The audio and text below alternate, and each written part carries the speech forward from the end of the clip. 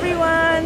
I am in Los Angeles, California here at my Mary Morrissey Dream Building Conference. I'm so excited. I found my phone. I found my phone. I happened to put it in a bag and it went through the whole thing. I didn't have it with me, but we're here in California.